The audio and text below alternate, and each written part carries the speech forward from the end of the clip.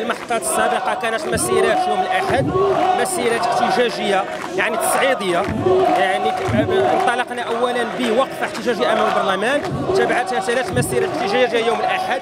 اليوم نحن بصدر إضراب عام في الوظيفة العمومية والمؤسسات ذات الطابع الإداري والجامعات الترابية مرفوق بمسيرة يعني وطنية ممركزة بالرباط. اذا اليوم هاد الأخوة والأخوات الحاضرين اليوم هذا الحضور الجد مشرف اليوم كلهم مضربون ومضربات.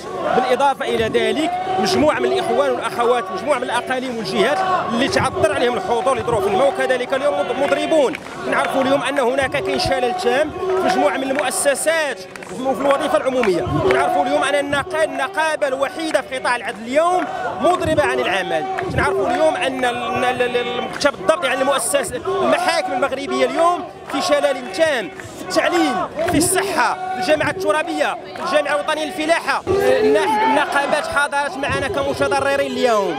نحن اليوم في التنسيقيه الوطنيه لإسقاط خطة التقاعد نرحب بالجميع وندعو الجميع كمناضلين ومناضلات كمتضررين من هذه الإجراءات التخريبية لأنظمة التقاعد للالتحاق بهذه النضالات المسؤولة والغير مسبوقة في تاريخ المغرب.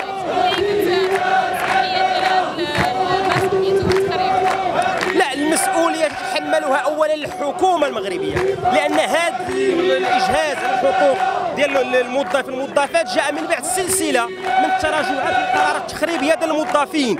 جات من بعد المرسومين المشؤومين جات من بعد توظيف التعاقد. اليوم هناك يعني سلسلة من الإجراءات لضرب الوظيفة العمومية. الحل اولا يجب إخضاع هذه الصناديق ديال التقاعد للشفافية والنزاهة. تعرفوا أن هذه الصناديق عرفت فساد كبير.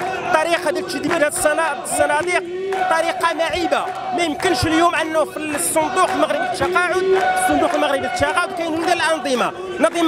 نظام المعاشات المدنية ونظام المعاشات العسكرية. نظام المعاشات العسكرية تشوبه تشوبه عدة اختلالات الصندوق غير مراقب. وبالتالي الحكومة عندما أرادت أن تقول تدعي هذا الإصلاح المزعوم لم تمس يعني النظام ديال المعاشات العسكرية اللي هو كما قلت يعني فيه فساد كبير.